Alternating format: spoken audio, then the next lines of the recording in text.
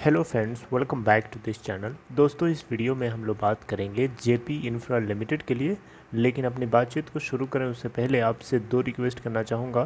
पहले रिक्वेस्ट कि अगर आप डीमेट अकाउंट या ट्रेडिंग अकाउंट ओपन कराना चाहते हैं तो डिस्क्रिप्शन बॉक्स में एक लिंक आपके लिए दिया गया है।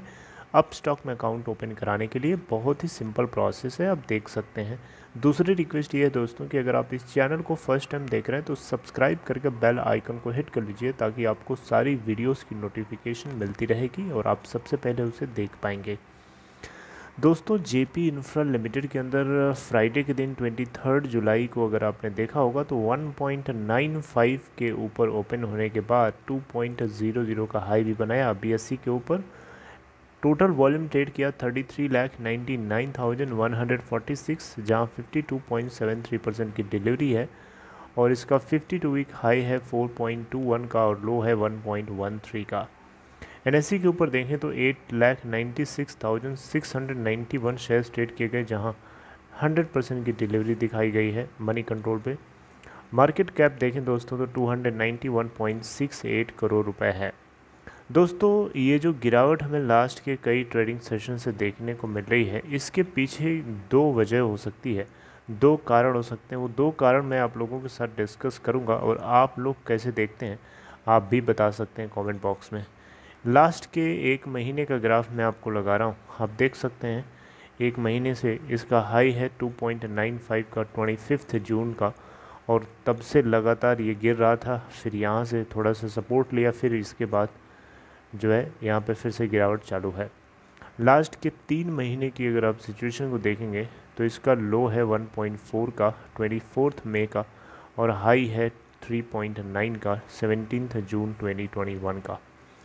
राइट right, तो आप देख सकते हैं दोस्तों एक समय था कि ये इस उम्मीद के साथ ये आगे बढ़ रहा था कि सुरक्षा एसेट रिकन्स्ट्रक्शन कंपनी अगर इस कंपनी को एक्वायर करती है तो इसके शेयर होल्डर्स की वैल्यू को कंटिन्यू करेगी। यानी इक्विटी वैल्यूज़ को जो माइनॉरिटी शेयर होल्डर्स हैं, उनकी इक्विटी वैल्यू को ज़ीरो नहीं किया जाएगा। लेकिन दोस्तों, आपको बताना चाहूँगा, आपको पता भी है, मैंने बताया भी है कई बार। दिल्ली हाई कोर्ट ने एक नोटिस इशू किया था सेंटर को, यानी सेंट्रल गवर्नमेंट को और security exchange board of India को, कि ये माइनॉरिटी शेयर होल्डर्स की इक्विटी वैल्यू को ज़ीरो क्यों कर रहे हैं, इसके ऊपर आप जवाब दीजिए। तो उसको लेकर के दोस्तों, अभी क्या डेवलपमेंट हुआ है? इस बात का डिस्क्लोजर अभी तक तो नहीं हुआ है, लेकिन होगा ज़रूर आने वाले कुछ दिनों में, और जब होगा तो मैं आपको उसके बारे में बताऊँगा। अब हम बात करते हैं सीधे दोस्तों कि इसके पीछे क्या वजह हो सकती है। उससे पहले मैं आपको इसके शेयर होल्डिंग पैटर्न को एक बार रिमाइंड कराना चाहूँगा। दोस्तों, देखिए, जून 2021 क्वार्टर का डेटा यहाँ पे अपलोडेड हो चुका है। देखिए प्रोमोटर के हाथ में 61 परसेंट की अभी भी होल्डिंग है इस कंपनी के अंदर। प्रोमोटर मतलब आपको पता है मनोज गौर, जो कि पूरे प्रोमोटर ग्रुप के मालिक हैं। आपको पता है जेपी ग्रुप का। तो बेसिकली यहाँ पे प्रोमोटर कंपनी जो है जेपी ग्रुप की आपको पता है, इसमें जेपी एसोसिएट्स लिमिटेड है। राइट तो ये बात आपको बोल लेनी चाहिए। तो प्रमोटर के हाथ में 61 परसेंट की हिस्सेदारी है, जिसका 83.63 परसेंट फाइनेंशियल कमिटमेंट कर रखा है, यानी गिरवी करा रखा है। एफ़ आई आईज़ यहाँ से माल बेच करके भाग चुके हैं, कई क्वार्टर पहले से ही। डी आई आईज़ यहाँ पर थ्री परसेंट की हिस्सेदारी के साथ अभी भी बने हुए हैं जून क्वार्टर के अंदर। पब्लिक शेयर होल्डिंग 35.1 परसेंट है। तो दोस्तों, ये जो पब्लिक शेयर होल्डिंग है 35.1 परसेंट इसी की बात करी गई है राइट तो अब यहाँ पे बात करते हैं कि गिरावट या ये जो लुढ़काया जा रहा है शेयर को इतने दिनों से, इसके पीछे की क्या वजह हो सकती है? दोस्तों, जो मुझे लगता है वो मैं आप लोगों के साथ शेयर कर रहा हूँ, ज़रूरी नहीं है कि ऐसा ही हो, यही कारण हो, और भी कारण हो सकते हैं।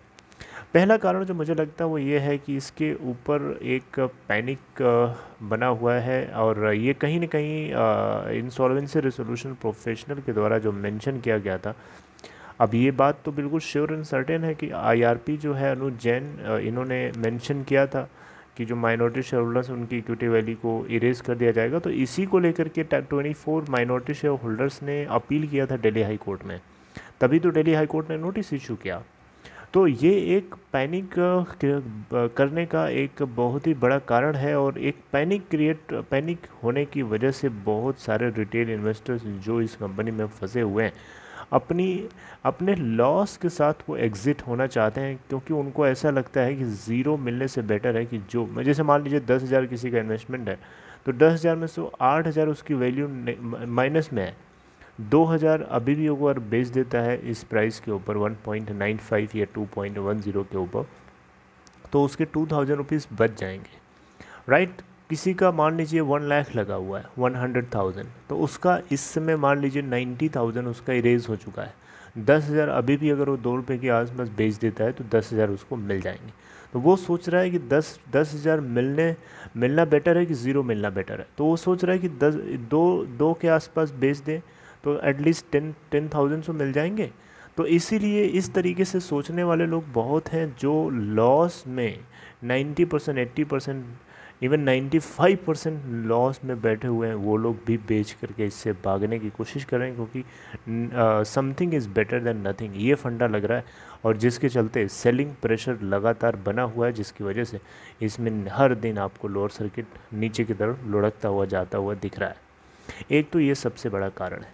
दूसरा कारण ये भी हो सकता है दोस्तों कि इस शेयर को जानबूझ के जानबूझ के जो है सेलिंग साइड पे प्रेशर इतना ज़्यादा बनाया जा रहा है कि ये नीचे के नीचे से नीचे के नीचे से नीचे लेवल तक जाए और नीचे से नीचे लेवल तक जाएगा, उस केस में जो इनको पैसे देने पड़ेंगे शेयर्स को ख़रीदने के लिए, वो बहुत ही कम पैसे होंगे और ना के बराबर वो इन्वेस्टमेंट करेंगे और उससे उनको ज़्यादा मिल जाएगा शेयर और उसके बाद अगर कुछ ऐसा होता है कि कंपनी के आईआरपी का मूड चेंज होता है या फिर दिल्ली हाई कोर्ट की तरफ़ से जो क्वेश्चंस किया गया है, उसके सपोर्ट में कुछ हो सकता है रिस्पॉन्स आता है।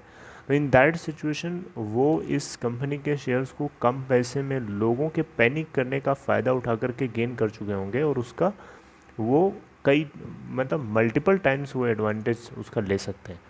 तो ये भी एक कारण हो सकता है। ये देखिए, मेरी बातें हैं, ज़रूरी नहीं कि ऐसा हो, क्योंकि आईआरपी क्या सोच रहा है? इंसॉल्वेंसी रिजोल्यूशन प्रोफेशनल मुझे उसके बारे में नहीं पता है।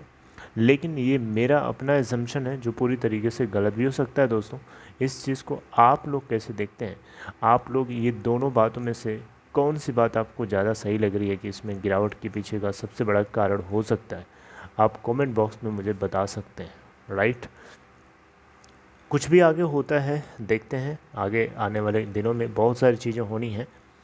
एनसीएलटी से अप्रूवल भी चाहिए। उससे पहले नोटिस जो इशू किया है दिल्ली हाई कोर्ट ने, उसका जवाब चाहिए। तो ये कुछ भी इस तरीके का रिस्पॉन्स आता है तो डेफिनेटली आपको बताने की कोशिश करूँगा। Right so this is all in this video I hope you like this information if you like this please give a big thumbs up यानी आप लाइक कर सकते हैं इस वीडियो को और अपना ख्याल रखिए। Take care of self